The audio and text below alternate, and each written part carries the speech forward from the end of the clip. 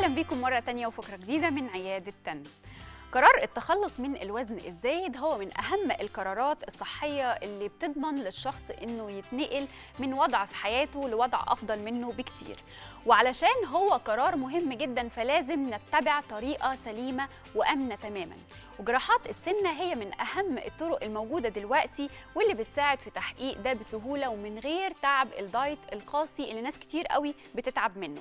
هنروح مع بعض نشوف حالات نجحت بالفعل في اتخاذ القرار ده وغيرت حياتها في مركز الدكتور كريم صبري استشاري جراحات السمنة والمناظير بمستشفى وادي النيل عضو الفدراليه الدولية لجراحات السمنة والسكر وأستاذ جراحات السمنة والمناظير بطب عين شمس. نطلع مع بعض نشوف التقرير ونشوف حياة الناس وقصصهم عاملة إزاي وإزاي حياتهم اختلفت تماما بعد إجراء العمليات دي.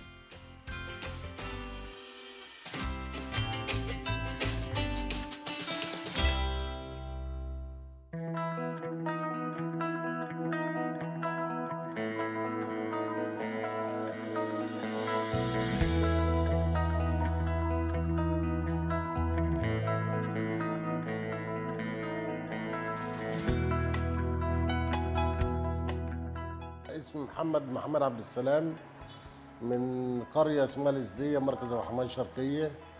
وطبعا آه، جاي هنا مع الدكتور كريم عشان خاطر أعمل عملية تحويل مسار. وأول ما اتعرفت على الدكتور كريم شفته في التلفزيون. وطبعا على حسب الحالات اللي عملت معاه من عندنا من البلد حوالي 10 15 حالة. وكان أولهم أخت ليا. وما شاء الله خست أكتر من 70 75 كيلو. ال- الوضع اختلف تماما والحركه اختلفت تماما. وكطبيعة شغل إن أنا شغال في المجاولات و... وعايز أعمل عملية عشان خاطر أقدر أتحرك في وسط رجالتي وصنايعيتي وكده. وإن شاء الله يكون لنا تصوير تاني بعد العملية يكون يبقى الوزن اختلف والشكل اختلف ويكون آه، في الأفضل إن شاء الله.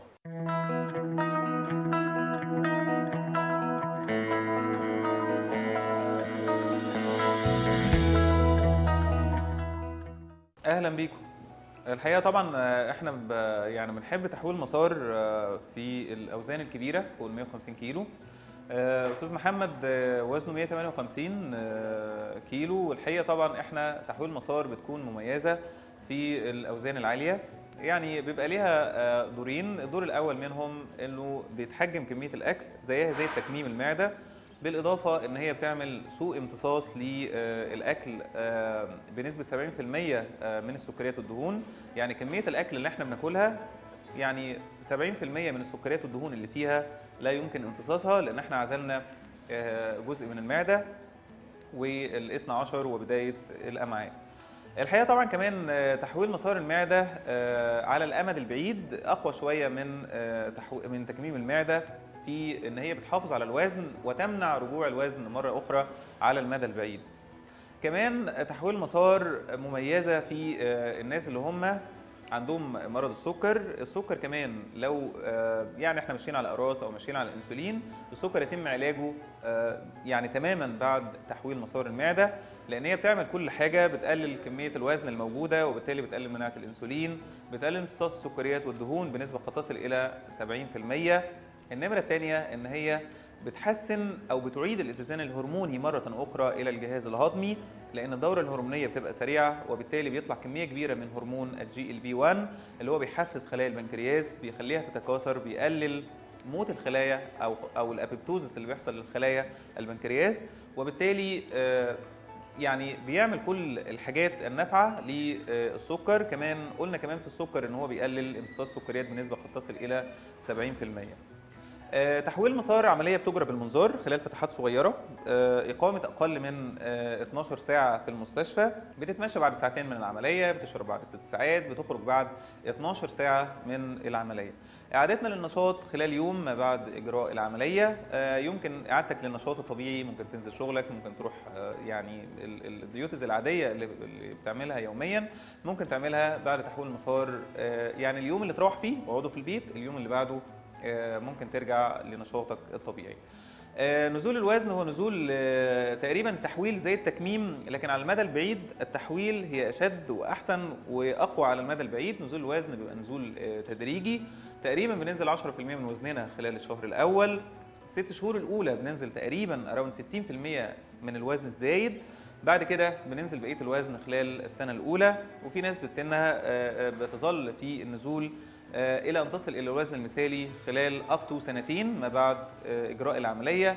لكن 10% في الوزن في الشهر الأول 60% من الوزن خلال الست شهور الأولى. وما بعد ذلك بيبقى باقي وزن قليل جدا بينزل آه، بالتدريج آه، تمنياتي بدوام الصحة ولكل الناس. وإن شاء الله نطمنكم على الأستاذ محمد ما بعد إجراء العملية. بالتوفيق إن شاء الله. بالتوفيق. شكرا.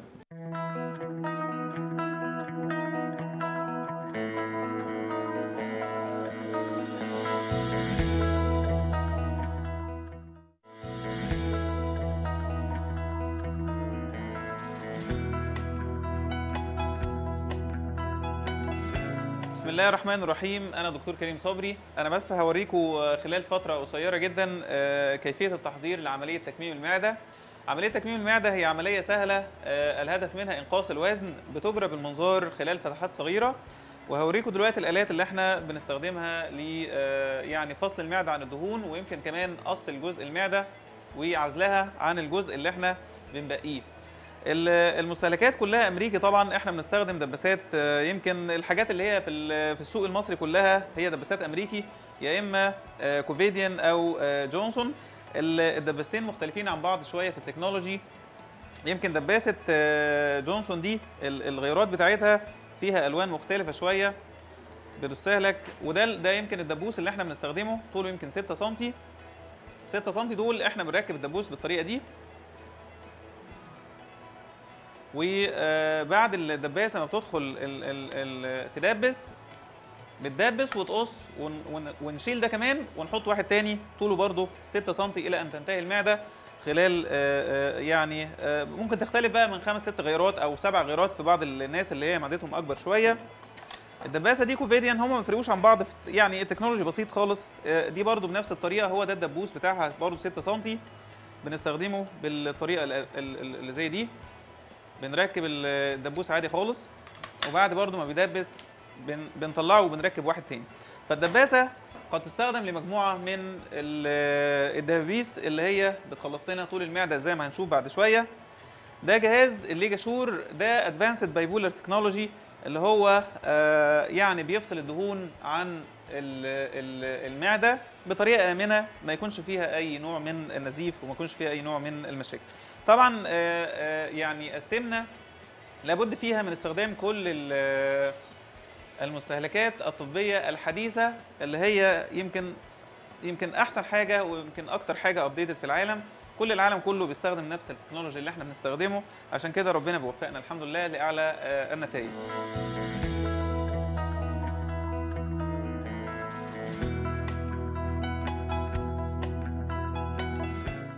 الرحمن الرحيم. أنا دكتور كريم صبري. أنا هشرح لكم عملية تحويل مسار المعدة المصغر زي ما أنتم شايفينه ده. إحنا بنفصل المعدة إلى جزئين الجزء اللي هو أقصى اليمين اللي إحنا ده آه، جنب الدهون الكتيرة. ده جزء المعدة المعزول. ده جزء المعدة اللي هو بيتعزل خالص الأكل ما بمرش عليه. وكمان ما بمرش على الاثنى عشر وبداية الأمعاء. دي بداية الأمعاء. طبعا إحنا عزلنا منها 2 متر كاملين في تحويل مسار المعدة. إحنا بنعدهم 2 متر كاملين. بنعد ال- المعدة إلى أن تصل إلى 2 متر وبعد كده نعمل كوبري ما بين المعدة المعدة زي ما إحنا شايفينها المعدة الصغيرة اللي هناكل فيها دي زيها زي التكميم بالظبط لكن بنزود عليها جزء اللي هو سوء امتصاص ال- اللي إحنا شايفينه ده. طبعا الوصلة دي وصلة اسمها الوصلة الطولية مش العرضية. الحاجة الثانية إحنا بناخد ال ال ال ال يعني التكنيك بتاعنا إن إحنا بنخلي الوصلة بالطول عشان العصاره ال- ال- اللي هي المرارية بتنزل من فوق آه، لتحت كده بنفس الصورة اللي إحنا شايفينها. حجم المعدة برضو زي ما أنتم شايفين بيبقى نفس حجم التكميم تقريبا لكن بيزيد عليه حاجة إن في فرق كبير جدا ما بين التكميم والتحويل إن التحويل عملية يمكن إرجاعها إلى الوضع الطبيعي التكميم لأ ما ينفعش فيها اللي إحنا نرجع للوضع الطبيعي. يعني إحنا إزاي بقى بنرجع المعدة للوضع الطبيعي بعد تحويل المسار بنوصل المعدة بالمعدة كده. لو إحنا عايزين نرجعها بقى مثلا بعد خمس سنين 10 سنين بنقوم مرجعين بنوصلين المعدة ببعضها كده وفاصلين الامعاء عن المعدة ترجع المعدة إلى الوضع اللي هو الطبيعي. طبعا إحنا ما بعد العملية بعد ما عزلنا الجزء الكبير ده من المعدة ووصلنا المعدة الجديدة بالأمعاء زي ما إحنا شايفين بنعمل اختبار اسمه اختبار التسريب. الشكل اللي إحنا شايفينه ده هو بنعمل المعدة والتدبيس زي البالونة بحيث يبقى فيه ضغط جامد على الدبيس فإحنا لو في أي حاجة آه، محتاجة أي آه، إعادة أو محتاج نتأكد إن مفيش تسريب أو حاجة بنعمل الحاجة ونشيك بقى أماكن الدباسات زي ما إحنا شايفين كده أماكن الخيوط بتاعتنا. مفيش أي تسريب مفيش أي حاجة. دلوقتي بنقوم معليين ضغط العيان بحيث إن إحنا نختبر برضو اختبار اسمه اختبار النزيف آه، آه، ما بعد العملية. وبنجيب طبقه الدهون آه، بتبقى ما بين المعدة وبعضها بالشكل ده. كأن العيان ما عملش أي عملية خالص. شكرا جزيلا.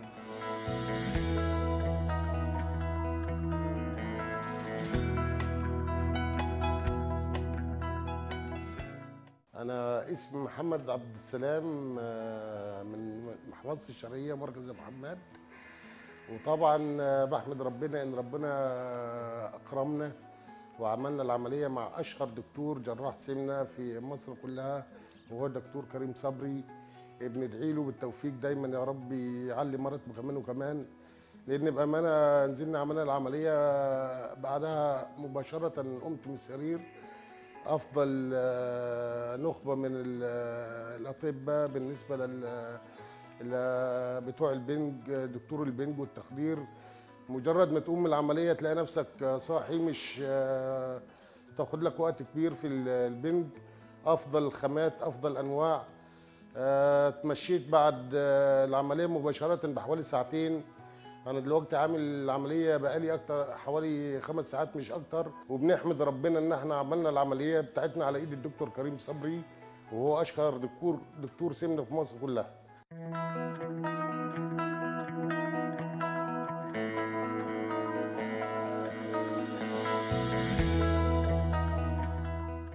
بعد خمس ساعات من تحويل مسار المعدة المصغر بالمنظار إحنا بنشوف أستاذ محمد آه، 158 كيلو. آه، إحنا بعد يعني تقريبا خمس ساعات آه، المفروض الريهابيليتيشن إن إحنا بنمشي آه، بعد ساعتين بنبتدي نتمشى.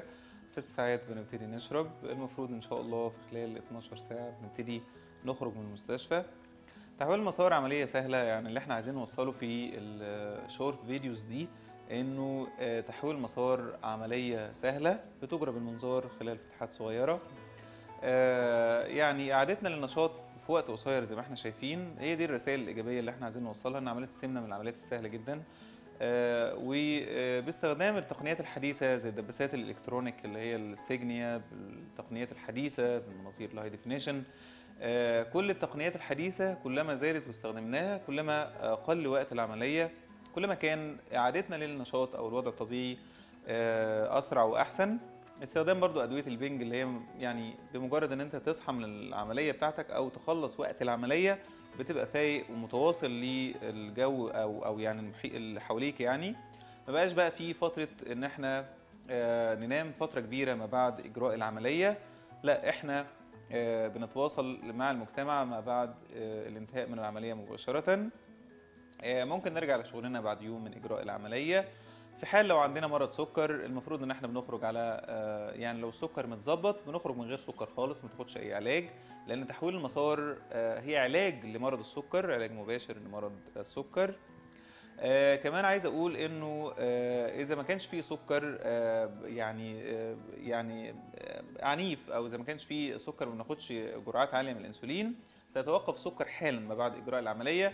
لكن لو إحنا بناخد جرعات عالية من الانسولين أو في مضاعفات أو السكر بقاله فترة أزيد مثلا من 20 سنة آه، بتبتدي تخرج على نصف الجرعات إلى أن ينشط البنكرياس مرة أخرى لأن تحويل المسار زي ما إحنا عارفين بت- بتعيد الاتزان الهرموني مرة أخرى إلى الجهاز الهضمي ويعني بتنشط الدورة الهرمونية أسرع من الطبيعي وبالتالي البنكرياس بينشط مرة أخرى و- ويعيد نشاطه آه، ويعيد الاتزان الهرموني آه، مرة أخرى إلى الجهاز الهضمي.